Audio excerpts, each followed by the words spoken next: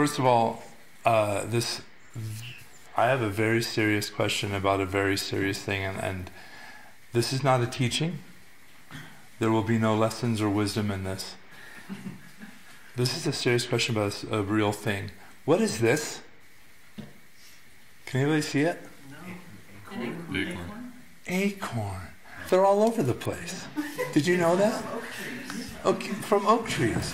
Okay, but see, I've seen them and they're green. This one's brown. Are those both acorns?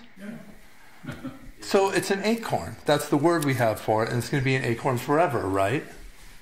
Until Well, it might turns into an an oak tree. An oak tree.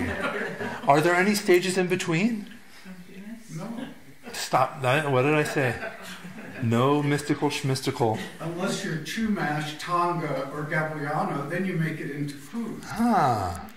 And there's a bunch of steps in between. So is it a tree when it's so this thing becomes a tree eventually? Is it a tree when it's four feet tall? Well, then it's a sapling. Sapling. Okay. Is it a sapling when it's 20 feet tall? It's. Then an oak tree. Wow, I've really asked the right people. That's really, wow.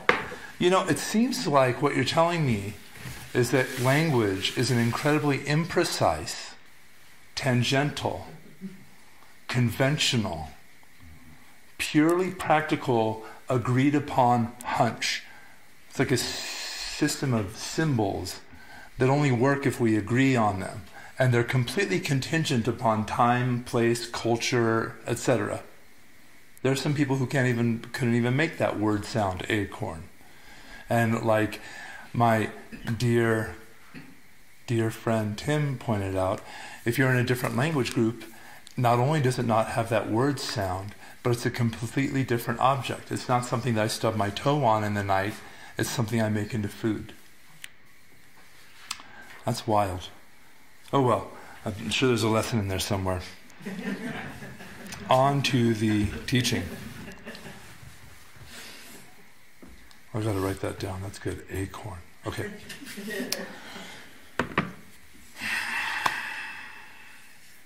My sincere gratitude for all beings throughout all time, especially all the Bodhisattva staff members here, whose diligent service make this place a healing mountain refuge. My sincere gratitude, humility, and eternal service to all of my teachers, including Jokai Roshi, Tim Callahan, Judah Pupsanim, Mr. Rogers, and James Lowe. It is from a sincere place of joyful obedience that I give this talk tonight. May all assembled here, human and non human, including the three treasures and all beings, find it pleasing. Is there anyone in the room who doesn't know the term three treasures or what it means? Triple gem. Okay. Three jewels. Okay. This is like a an, uh, an a very ancient way of talking about the Buddha, the Dharma, and the Sangha. So the Buddha, his teachings, and the community. And of course, there's expanded meetings and little teeny tiny meetings. But uh, in the dining hall, we recite that amazing chant that gets me every time. And talking about we take this food for the three jewels. And the three treasures, actually, is what it says down there. But anytime there's three and something valuable afterwards, what it means Buddha, Dharma, Sangha. There's lots of beautiful expanded meanings, but I was like, you know, I bet there's people here who don't know what that means. Thank you. Uh, disclaimers. I will now proceed to use two highly charged and controversial words in my talk tonight. First, I'm going to say the word love. Um, I might say it a few times. Uh, I challenge you to listen to this talk and tell me that I'm not actually talking about love. Second, I'll use the word emptiness in this talk. Not only do I really not understand that word or anything about it, uh, some excellent students of the Buddha Way do not care for it, and I appreciate that. But remembering that all words, signs, and symbols are fundamentally empty, have no ultimate true essence or meaning, having only conventional, convenient, and practical meaning within a language system. I'll just go ahead and use them. I'm also sure that you will see that anything I say tonight carries all the shortcomings of the above that we previously went through. and as I hope to transmit the view that any teaching at all is a reflection of the one speaking and my small beginning understanding, and is an expression of compassion, of care, of joyful obedience. So, when I use those words, those highly contested words, please feel free to substitute any of the following words for emptiness boundlessness, openness, Mahaprajnaparamita, Dharmakaya, Buddha mind, the deathless, the indestructible, the tofu with peanut sauce, or any words of your choice. What? tofu with peanut? That's silly, but so delicious. That was probably one of the best things I've ever had in my entire life. That was amazing. Um, and it would probably be a very simple thing to accurately, accurately convey to someone who didn't actually have it at lunch what it was like, right? Really easy. Like, um, I can't wait to tell my wife all about it. I'll say it was peanutty, like um, Captain Crunch or peanut brittle. And I'll say it was oily, like salad dressing. That doesn't sound very good. That's weird. Hmm. Well, anyway. Back to the talk. The fundamental wisdom of experience, the utterly ineffable nature of the boundless unfolding of emptiness is the crown jewel of all Dharma. I don't know what that means, but it sounds right.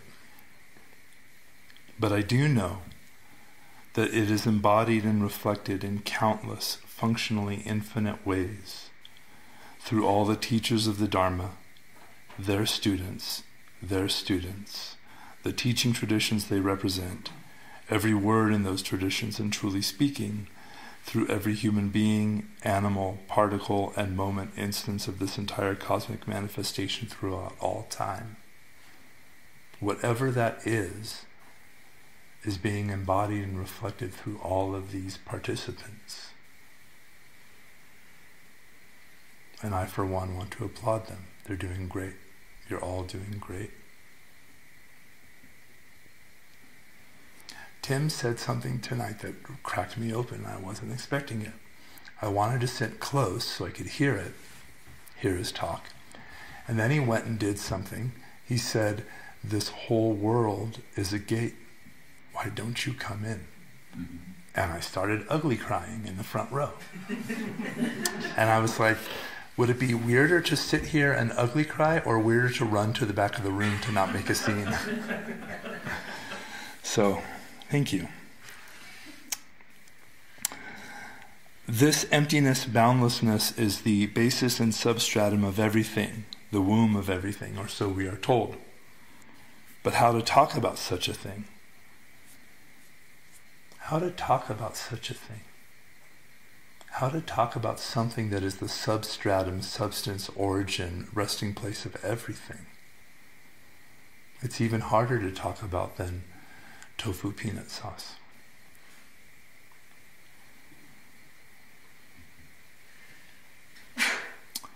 Emptiness is the, oh, bless you, thank you. Emptiness is the space around and within which everything is born, the Great Mother.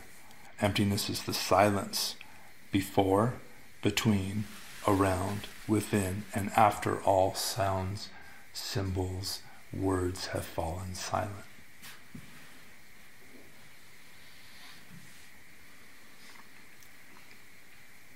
To our very great good fortune, we've had amazing Dharma talks nonstop from the time we got here until right about now. And I was so happy that Jumpa initiated all of us into the almost simplest Prajnaparamita sutras possible, the awe. And now I will initiate you into one even simpler the silence before. Now, the person who first instituted this is, of course, the historical Buddha. Why? If you've ever heard of the Dhammacakkappavattana Sutta, I love saying that fast. if you've ever heard of that sutta, it's also called the Sutta of the Turning of the Wheel. Uh, Dharma wheel turning, the first turning, the first teaching, the first sermon. This is the first time the Buddha actually taught people. And there's so much to say about that. But we are told in a different sutta, the Sutta of the Noble Quest, we are told that after his awakening, after his breakthrough, he was silent for several weeks, 49 days to cite some sources. Utterly silent.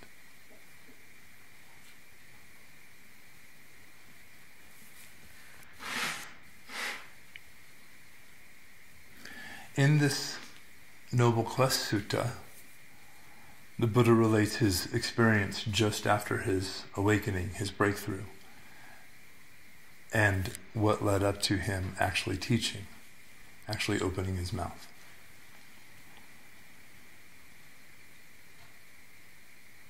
Does anyone know what the Buddha specifically named in the Noble Quest Sutta? Why he was reticent, why he was resisting teaching. What's the thing he said about what am I supposed to say to these people? The teaching that he was most racking his brain around and remember, we're translating raw experience into words, so we're already a world away. And then we're translating maybe Ardha maybe the Buddha spoke that, into Pali, so that's a whole other world away. Dot, dot, dot, dot, dot. You get this game we're playing, right? But in the Noble Quest Sutta, the Buddha says, I, I hesitated to teach. I found it impossible to figure out how to teach paticca samuppada, interdependent correlation, interdependent arising. Everyone know this term? Interdependent co-arising or dependent arising or dependent co-arising or as the uh, Venerable Thich Nhat Hanh says, interbeing. Really briefly, everything is made of everything else. Grab anything. Oh, my old friend, my old nemesis. This is the entire cosmos in miniature. This is not an acorn seed only. This is an acorn, this is an oak tree. Amazing how it gets a name change. It's an oak tree. It's every oak tree. It's the sun and the moon and the stars and gravity and quarks and water and soil and time and every human who's ever lived on the planet. And it doesn't take much to get there. It's pretty quick. Just touch anything. So even calling this thing a thing and giving it a name is on one level rather silly because it's actually the entire cosmos. To our very, very great good fortune, the Buddha decided to teach. And the first people he taught were his old companions. And luckily for us, the Buddha did not come with an agenda. He did not walk to his old friends thinking, I'm going to set these suckers straight. I'm going to sort them out. These guys don't get it. I'm a. He was able to immediately ascertain what was going on. And it was probably pretty obvious. You know, you're walking up to a group of people and they won't look at you. They don't offer you a seat, as is, was traditional in India. Wouldn't offer him water to wash his hands and feet. He knew what was going on. And out of his total availability, out of his profound compassion, he taught them this exact teaching about where they were maybe getting hung up. And we'll leave that teaching for another day. But he knew exactly what they needed to hear the moment he interacted with them. Without a plan, without an agenda, without a, a pamphlet or a newsletter or a banner. Spontaneously meeting them exactly where they were. And then the Buddha didn't stop. For some, according to some sources, he taught for 49 years. That's a neat little symmetry. Silent for 49 days, teaching for 49 years. Teaching up to and including his final breath. And why? Because wisdom and compassion go together? Because they're two sides of the same coin? Because wisdom, when it's on this side of the fence, looks like compassion, looks like love. A whole life spent teaching was his great compassion for the world. Now, a brief note about compassion. It is commonly taught that compassion is in response to suffering. In fact, you know, we had a, a, a helpful etymology for that word, compassion, uh, with suffering with another. And that's a beautiful lesson and a beautiful teaching. And in the best case scenario, meeting someone else's and our own meeting someone else's suffering with openness, with availability, with loving kindness as the basis, we will naturally be spurred into action. And if we are letting compassion guide us, we will be able to spontaneously meet this situation, this person, this experience on its own terms. Without an agenda, without a pre planned scheme. But also, I want to mention that compassion can also be understood as availability. So, compassion as meeting another's suffering very nicely. You're available for them, or meeting your own suffering. You're available for it. You don't turn away. You don't shut down. You don't other. You stay open. You stay and don't know. How, how can I help? And sometimes it's even just that. Also, uh, just briefly, there are no others. So, compassion, maybe more expansively, I offer it to you to think of compassion as availability. Thanks to Tim for talking about Avalokiteshvara Bodhisattva. This is, we were talking about the 11 heads and 1,000 hands and eyes in each hand. This, at my count, that's 11 heads, 1,000 hands, and 1,022 eyes. And why? Infinite ways of relating, infinite availability, infinite skillful means to meet the person suffering, to meet the situation, to meet the destructive, toxic system that predisposes beings into suffering with total availability. Endless, skillful means. After all, who is this Dharma for? if not for this precious earth and all of her precious creatures, including you, and everyone you've ever known, and anyone you will ever know, and every friend, every stranger, every family member, every loved one, every enemy, every person who hates you.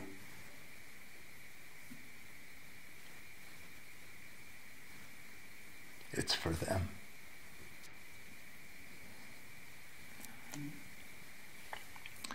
Why would the Buddhas, Bodhisattvas, and all their countless spiritual children proclaim kindness, compassionate care, joy at the joy of others, and equanimity as the hallmarks, banners, crowning glory, royal path, and only real purpose of all who would follow in their footsteps? It says in one refuge prayer that I love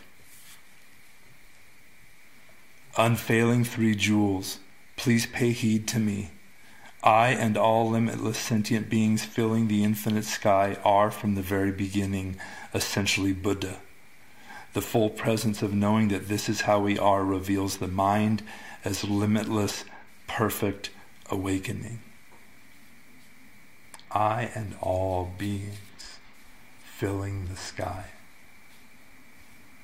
Think of how many beings have lived, how many are living now, and how many will live. And all of these essentially Buddha, having the same nature.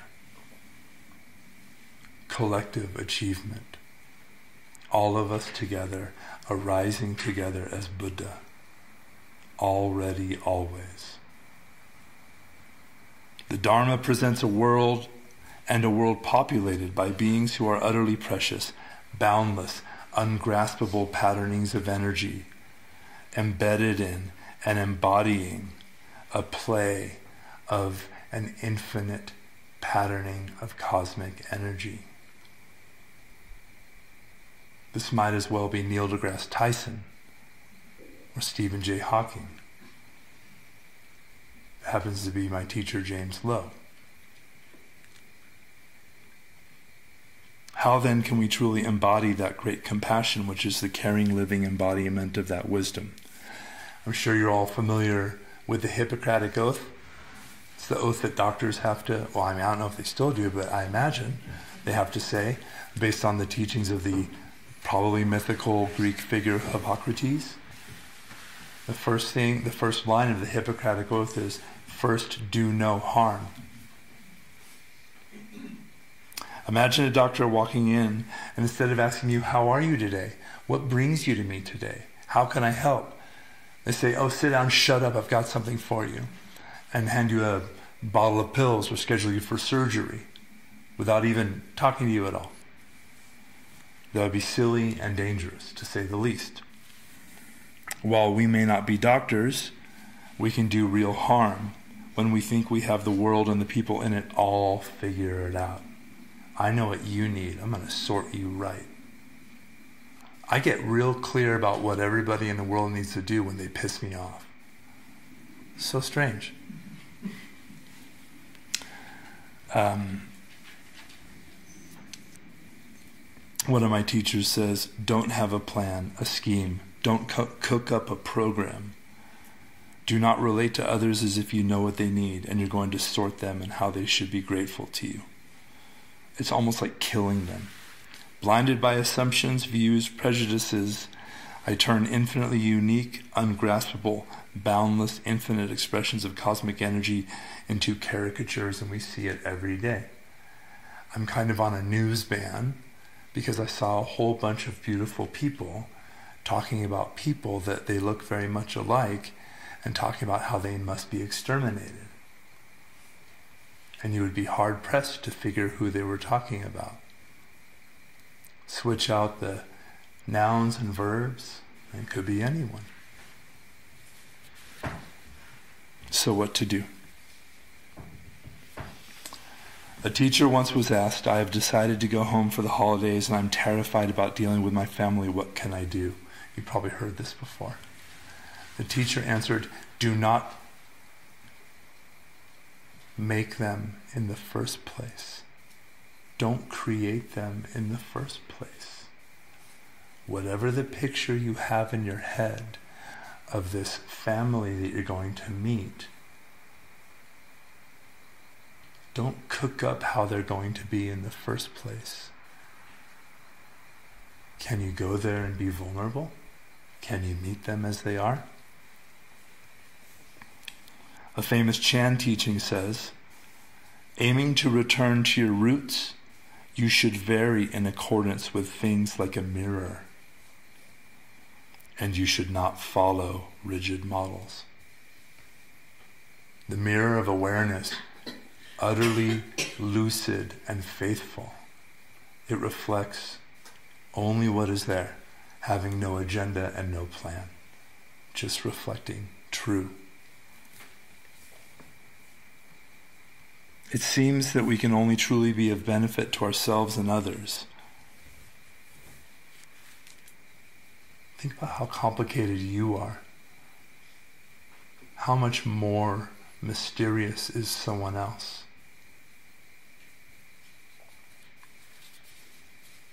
I won't ever know why someone says something to me, really. How could I ever know?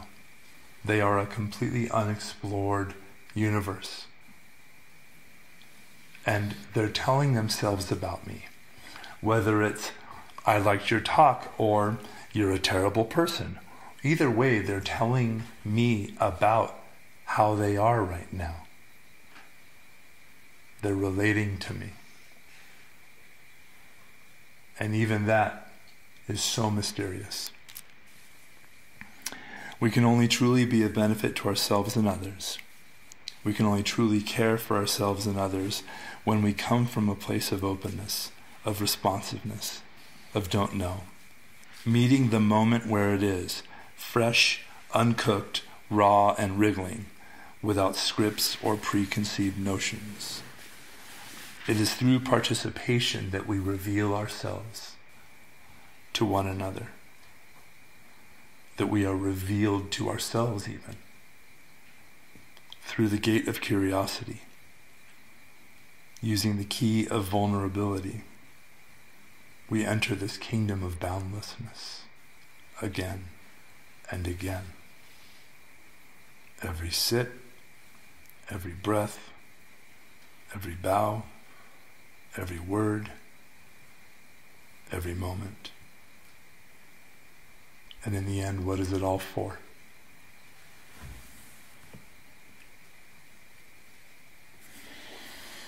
I'll leave you with an ancient Dharma song. Uh, uh, imagine a ukulele. I don't play it very well, but you'll get it.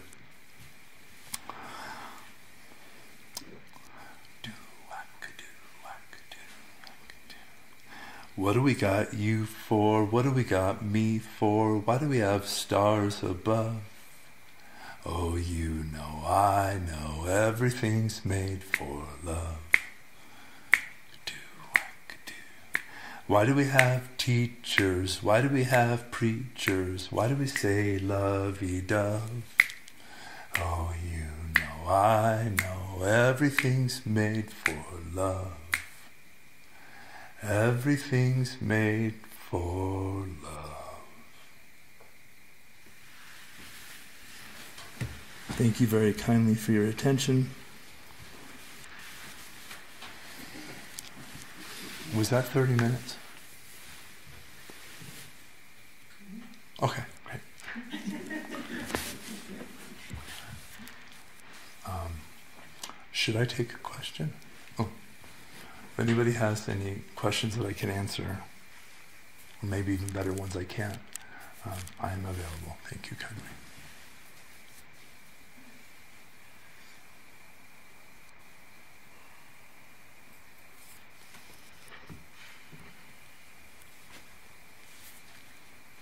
All right, great. Good job.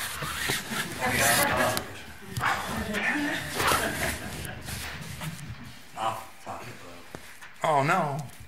Uh, I've been working with the jhanas a little bit Mhm. this weekend. Do you recall in the suttas that the Buddha was always in the first jhana when walking around daily life? Like, is that I'm not? I'm not familiar with that explicit citation in the suttas, uh, but it stands to reason based on what we know about the first jhana. I He's can't imagine why. So he's still thinking. he's, Oh yeah, um, very skillfully Yeah. navigating. I can't imagine why not. Right. Okay. Second jhana different because you lose vitakka vichara, and you're no longer it, like with concepts and discursive hmm thinking. But my understanding was so. Is that a goal that we should be trying to always be in the first jhana? Oh gosh, To I- the Buddha. I wow. I I don't know. That's really that's a big. That's a. I guess if you're gonna shoot for the rhino, really go for it. But uh, that uh, anytime I get a jhana question, um, I kind of want to defer because it's such a um, it's such a big thing. It's such a lofty goal, and it gets even loftier even and through the commentaries. You know the the jhanas and the suttas are very rel- are a lot smaller. There's four, and then the commentaries there's eight.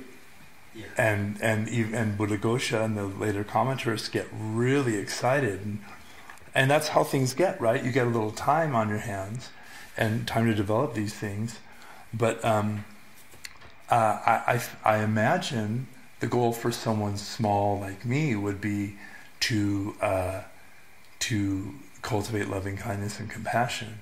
My hunch is that. Um, my hunch is that the first jhana will naturally present itself by pursuing good conduct, kindness, compassion, and getting a scent, getting a taste for that joy of release that comes the more we let go.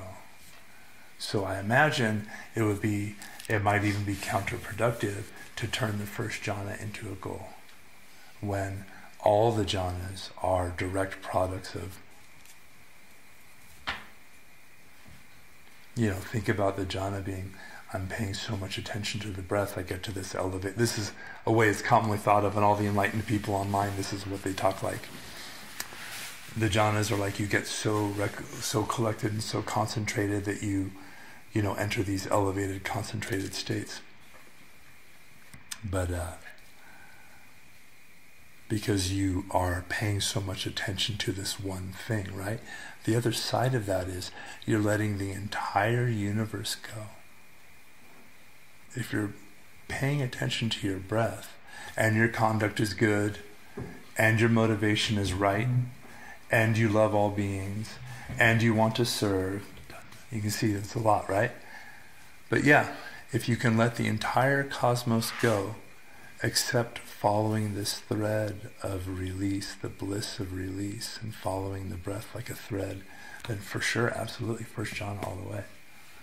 But I'll let you know in like a hundred thousand lifetimes when I get there. Thank you. Yes, my dear. What is the what is the first Jhana, jhana? who knows? it's a thing for way. It's a it's a thing f- for people to argue about online. It's a it's a there is a, there are these four. Uh, the Buddha talks about these four basically levels of concentrated states that um, pursuing, you know, which can be seen as the natural outgrowth of practice. That you get this more and more secluded from mental chatter and reactive mind and just softer, softer, softer, softer. Like that. But the suttas I like, the Buddha talks that the jhanas are the product of good conduct. Those are the suttas I like. Or the jhana is a product of pleasure. The Buddha says that all over the suttas. I love it. He says, oh, um, the jhanas are not a product of concentration. That would be silly. The jhanas are a product of pleasure. Why? Because our heart mind naturally will follow the pleasure of release that comes from a heart that is working for the good of all beings, whose conduct is good, who is always reflecting, how can I let go here? Am I, am I, what am I, oh, I can let go. I can, I can, like that. So, uh, there's a lot of fully enlightened people online who have a lot of opinions about it, and they're way smarter than me. So, I'm just working on clear mind. God, let me, that, I'm your student. Yes, sir. Yeah, um, are, uh, are emptiness and anatta or, or not self uh, uh, like a sa- the same idea from a different perspective, or or uh, like I, I just I'm not as familiar Yeah. Zen, and I don't Yeah. the emphasis on emptiness versus Yeah. characteristics. Yeah, for sure. I mean, the way one way you could look at it is you're from you're familiar with at least the name Nagarjuna, right? Mhm. So the historical Buddha, at least in the suttas, uh, only really talked about, never really said emptiness. Dun dun. It was empty of a self, empty of what belongs to a self, empty of clinging and craving. It's always empty of something. Um, so, one way to look at it is imagine the Buddha as this kindly old grandfather that had an old sports car in a barn. And Nagarjuna was his like hot shot 16 year old grandson who found the keys and was like, let's see what this baby can do. And just ran with it. So I'm of the opinion that it very naturally follows. Well, if this is empty of a self and what belongs to a self, and this is empty of a self and what belongs to a self, and it's constantly changing, and it's dependently originated, and it's utterly embedded with everything. That's how Nagarjuna actually defines emptiness. Constantly changing, dependently originated, absent of a self. So this whole Mahayana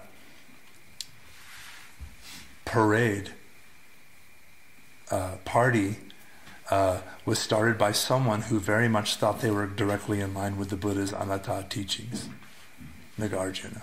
So it's just, I, I would say it's just a different way of talking about it and thinking about it and practicing with it. Thank you. Great question. Yes, sir. As someone who has the pleasure of hearing your words more than anybody else, uh, I edit his videos. I'm so sorry. Um, I, I must thank you, and I was truly moved.